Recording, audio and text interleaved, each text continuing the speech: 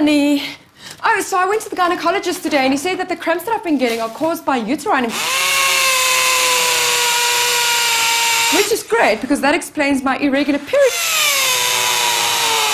So, due to my unusually shaped cervix.